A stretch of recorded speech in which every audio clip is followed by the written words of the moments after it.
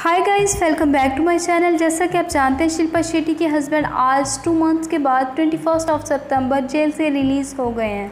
राज Kundra jail से release होने के बाद सबसे पहले कहाँ गए हैं और इस वक्त उनकी क्या कंडीशन है? आज की वीडियो में आप जानेंगे। वीडियो में आगे बढ़ने से पहले आपसे रिक्वेस्ट है, अगर आप मेरे चैनल पर न्यू हैं तो चैनल को सब्सक्राइब लाजमी कीजिएगा ताकि आपको बॉलीवुड से related latest and interesting news मिलती रहे।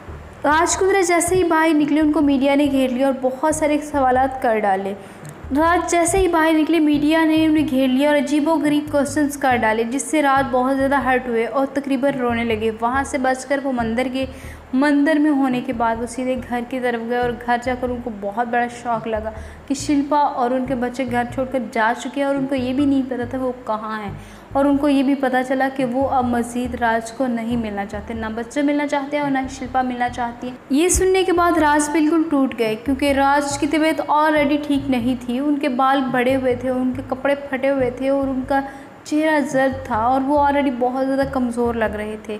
पब्लिक और मीडिया के क्वेश्चंस को लेकर वो बहुत ज़्यादा परेशान थे और बहुत ही बुरे हालात से निकल कर वो आए थे। वो जेल से रिलीज़ होकर आए थे, वो अपनी बीवी और अपने बच्चों को मिलना चाहते थे, लेकिन वो घर पर मौजूद नहीं थे। राज तकरीबन रोने लगे और उनके रोने की बहुत सारी पिक्चर्स सोशल मीडिया पर तेज़ी से वायरल हो रही हैं। राज बहुत ज़्यादा परेशान है। वो अपनी वाइफ शिल्पा को सॉरी करना चाहते हैं, लेकिन शिल्पा उनको सॉरी का मौका भी नहीं देना चाहती क्योंकि शिल्पा का कहना है, उन्होंने बड़ी मुश्किल से अपना करियर बहाल किया है। वो मज़ीद ऐसा कोई चांस नहीं लेना चाहती जिससे उनका करियर ख़तरे में आ जाए।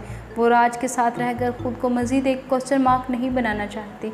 बॉलीवुड में उन्होंने बड़ी मुश्किल से अपना नाम बनाया है और वो उसको बनाए रखना चाहती हैं। उनका कहना है कि मेरा फ्यूचर और मेरा नाम जो मैंने बड़ी मुश्किल से कमाया है, वो इसी सूरत में कायम रह सकता है कि अगर मैं राज से अलहदगी इख्तियार कर लेती हूँ।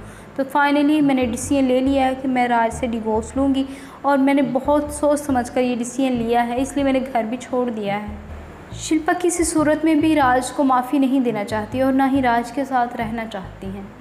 जबकि राज हर हाल में एक मौका चाहते हैं तो आपके ख्याल में क्या शिल्पा को राज को मौका देना चाहिए?